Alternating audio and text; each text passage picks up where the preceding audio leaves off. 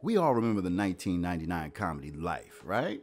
You got Martin Lawrence playing opposite Eddie Murphy, two comedy giants who dominated the stage, television, and film. Eddie had the 80s. Then Martin came and pulled up and stole on the 90s.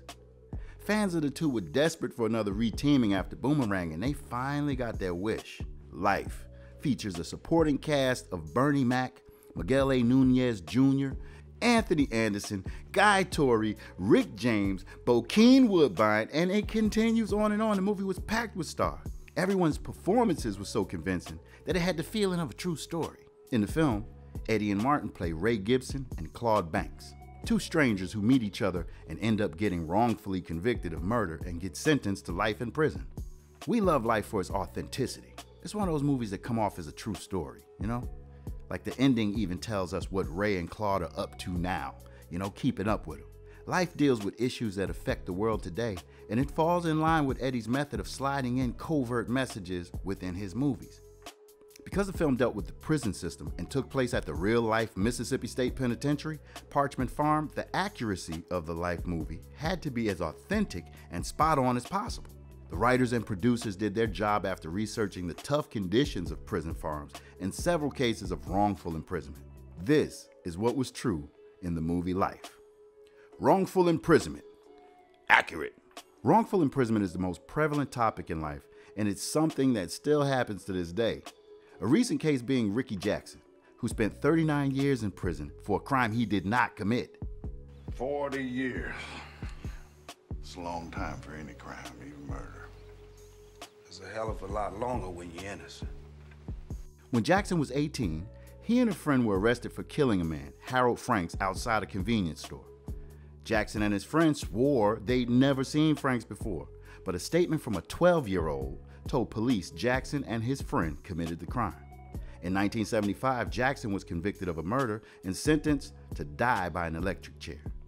Just two weeks later, the death sentence was reduced to life after Ohio's capital punishment law was deemed unconstitutional by the U.S. Supreme Court. Jackson was exonerated in 2014 after his original arrest in 1975. Stories of wrongful imprisonment happen way too often. John Bunn is another one who spent 17 years of his life in a maximum security prison and another 10 years on parole for a crime he didn't even commit.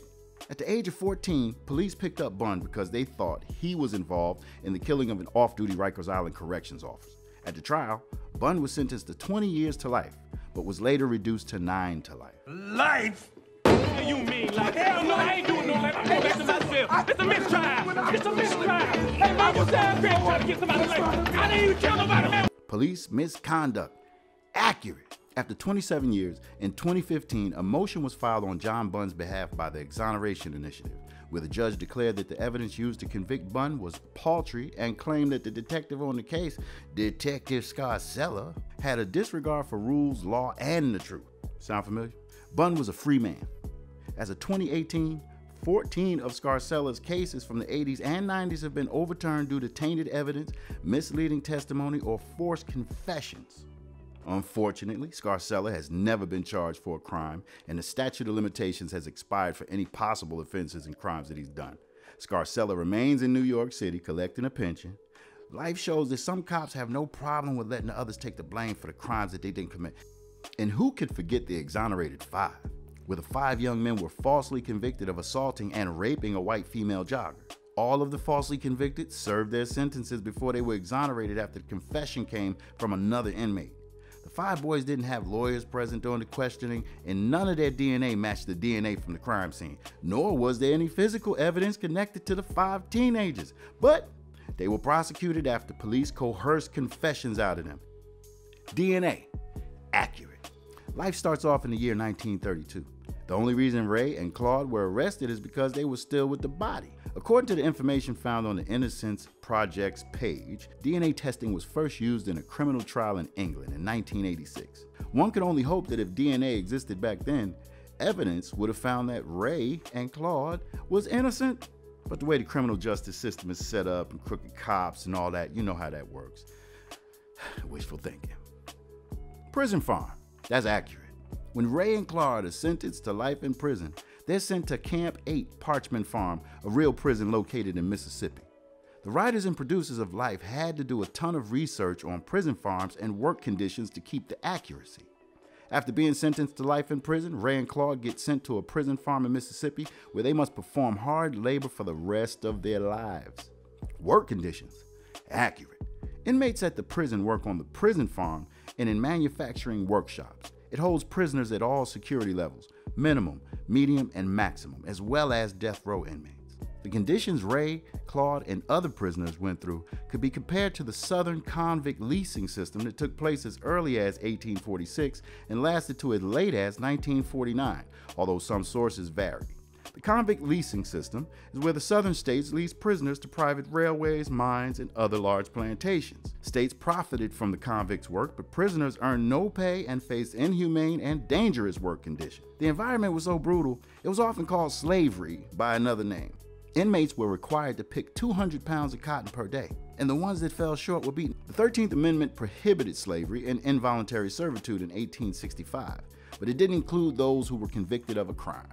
Race is a huge theme when it comes to the movie Life. Towards the beginning of the film, when Ray and Claude are making their trip from New York to Mississippi, they stop in an all-white diner that doesn't allow blacks in.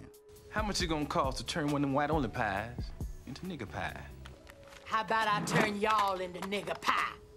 From the treatment at the restaurant to the treatment of the prisoners on the prison farm, it's clear that the Southern convict system was a loophole where its purpose was to continue slavery in the South and let the Southern states keep on doing that stupid and the system used slavery as a punishment for a crime.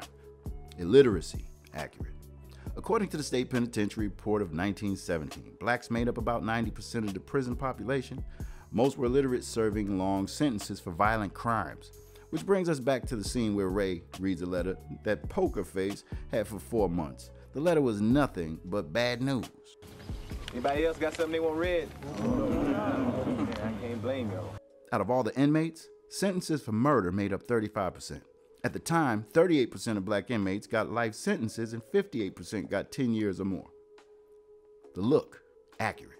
According to the book that discusses the specific prison system, worse than slavery, the prison farm doesn't look like a prison at all, but instead a plantation with no walls, guard towers, or cell blocks.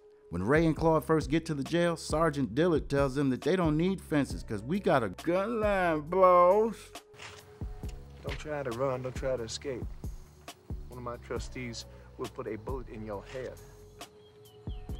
Trustees, accurate. The trustees the sergeant was talking about were a real thing too. Trustees were prison inmates that were selected by officials because they were trustworthy and they made them into armed guards. They had a strong desire to please the white man above them, and they were feared and hated by the black men below them. Think Uncle Ruckus or Sam Jackson's Stephen in Django. Hoppin' Bob was a character in the Life movie who showed off in front of the master in order to keep his position. It's unclear if Hoppin' Bob was an official trustee on the prison farm, but he definitely fits the description. Uniforms, accurate. When prisoners showed up to the Parchman farm, they were gifted what they call ring-arounds. Shirts and pants with horizontal black and white stripes, much like the ones you see in the film. That shit was ugly. According to digital history, 10% of Alabama's total revenue came from convict leasing. In 1898, that number increased to an unbelievable 73%. Death rates among convicts were around 10 times higher than the death rates of prisoners in non leased states. In 1873, approximately 25% of black leased convicts died. It wasn't long until the convict leasing system transformed into something else. Prisoners that worked for private companies and businesses eventually began working for the public sector, which led to the chain gang. Ooh, conjugal visits. Accurate. You nasty. In the film, during one of the family visits, Claude's fiancee Daisy visits, and he bribes the sheriff to give him a temporary marriage license. Conjugal visits were common in the Mississippi State Penitentiary, as were bribes. According to the evolution of conjugal visiting in Mississippi, author Columbus B. Hopper said the visits began as early as 1918. They were originally only available to black males because they thought black males were more promiscuous. You know, they thought we was nasty than whites and had a stronger sex drive than the whites did. And authorities thought that if they were allowed to have intercourse, they'd be more productive when it came to their labor. These conjugal visits were created because they help reduce homosexuality and sexual assaults in prison.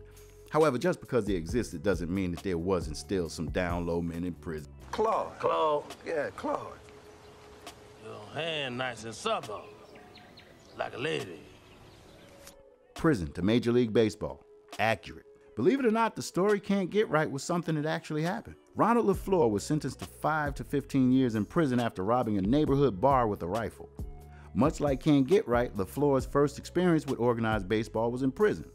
While there, LeFlore met Jimmy Karalla, a fellow inmate who saw his talent and got in touch with a friend who got in touch with another friend who got in touch with a friend that led with a meeting with the Detroit Tigers. LeFlore was released from prison in 1973 and immediately signed a contract with the Tigers where he played until 1979. Ray convinced a reluctant Claude to let Can't Get Right play baseball. Both were pleasantly surprised when they found out he had talent. They thought he was their ticket out of prison. They told the Negro League scout that they were Can't Get Right's handlers. They had to play nice if they wanted to get out too. All right. Take care. Have a nice day. Okay. Yeah. Walked off smooth with my drink, didn't You sure did. I ain't gonna say nothing though. Have a good day. Hey, go on. care now. Enjoy, man. Can't Get Right was eventually pardoned and released from Camp 8. Unfortunately for Ray and Claude, the pardon didn't include them and they remained in jail. Escaping. Accurate. Throughout the film, Ray and Claude tried to escape prison numerous times. The first time they ran from Mississippi to Tallahassee before getting caught. And as punishment, they get sent to the hole. Years later, Ray makes an escape by himself by flying a plane, but he eventually crashed and burned, and it was once again him back in the hole. In the film, the punishment for running away was being sent to the hole. Seems like a light sentence for trying to run away. Escaping Mississippi State Penitentiary is no easy task. In January 2020, correction officers discovered two men missing from Parchman during an emergency inmate count in the middle of the night, just like the real life film. Two made it all the way to Tennessee before being captured. Life is considered a comedy, but it does deal with some dark and serious issues that still affect us today. It's a fictional story that draws inspiration from many different real life incidents. While the movie is meant to make you laugh, Eddie made sure it featured his signature covert message. He talked about real things, but gave it to us in a digestible package. Through the movie, we got to take a look inside the convict leasing system and wrongful convictions, and we got to see what life lessons were true. In 1997, it's discovered that after living in the infirmary, Ray and Claude stole two bodies from the morgue, planted the bodies in their beds, started a fire, and hid in the fire trucks and left with them. Finally, finally, after 65 years of being wrongfully imprisoned, Ray and Claude had their freedom. Unfortunately, most people who are wrongfully convicted do not get the happy ending that Ray, Claude, Ricky Jackson, John Bunn, the exonerated five do not get. While these men knew they were innocent, one thing they never did was give up hope.